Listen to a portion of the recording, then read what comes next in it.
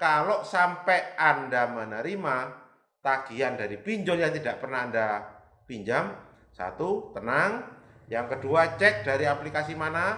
Yang ketiga, tetap tidak usah dibayar. Kemudian yang keempat, coba cek SMS. Pernah enggak ada SMS OTP? Berarti kalau ada SMS OTP atau dalam bentuk G, biasanya Google itu ya, G, ada nomor verifikasi berarti email Anda udah diambil orang. Jadi hati-hati di sana.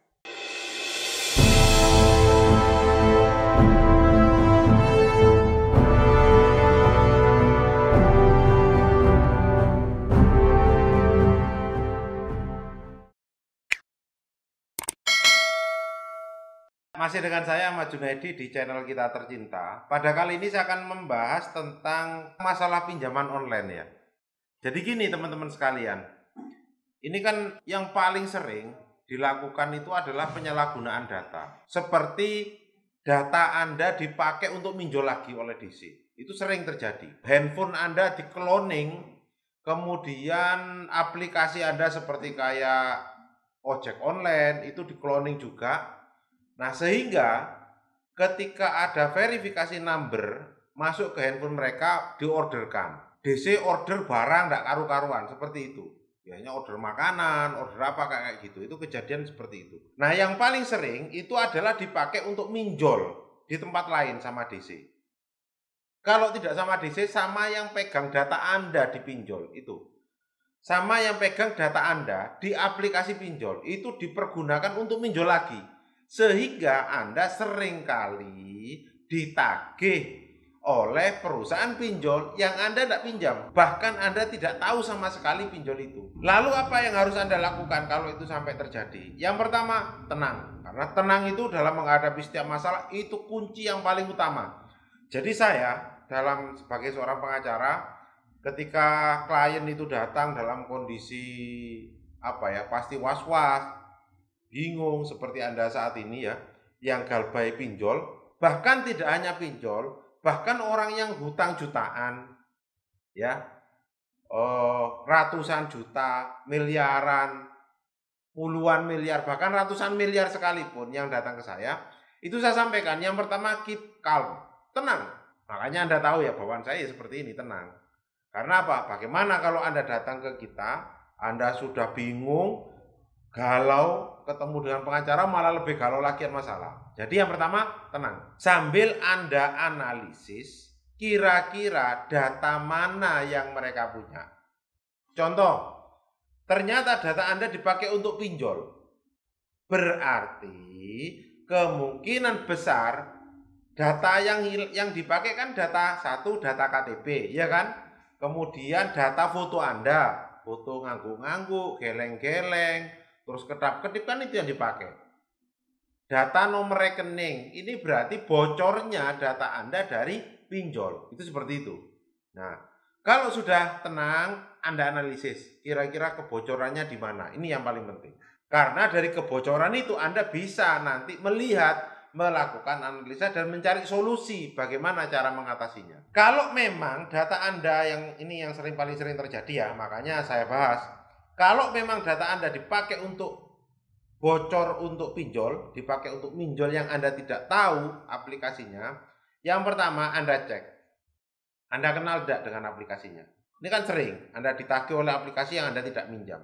Kita tahu tidak aplikasinya apa? Oh ini. Pastikan bahwa Anda tidak pernah pinjam. Kalau sudah, ketika DC nagih, ya, orang pinjam itu kan ada transfer uang ke kita tanyakan kapan transfernya. Ya, kapan transfernya? Nilainya berapa? Dia tidak akan bisa jawab. Yang bisa dilakukan, yang sering dilakukan menteror. Sudah, sudah usah tahu itu kayak gitu ya. Sudah, tidak usah tahu kapan kita transfer dan sebagainya. Yang penting bayar. Ini utang Anda kan seperti itu.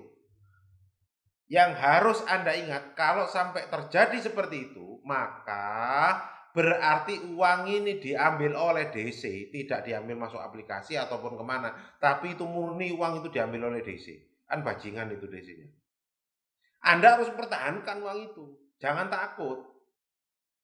Kalau Anda takut bagaimana? Kalau Anda takut dan Anda bayar, maka aplikasi Anda, data diri Anda akan diperjualbelikan di seluruh grup DC, grup pinjol yang satu grup. Jadi contoh ada satu aplikasi satu gitu ya, dia kan beranak suh banyak grupnya. Wah itu saling ditagih nanti. Padahal Anda tidak pernah minjam. Jadi jangan sampai terlena di sana. Kalau memang Anda tidak pernah pinjam, tidak usah bayar.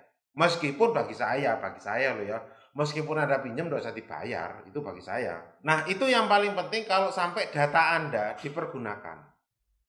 Gitu ya.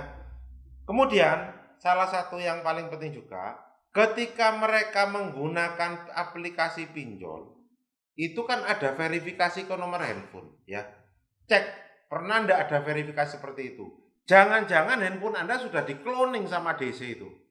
Sehingga ketika ada verifikasi number, mereka semua dapat. Dan Anda tidak pernah memperhatikan karena apa? Bentuknya SMS.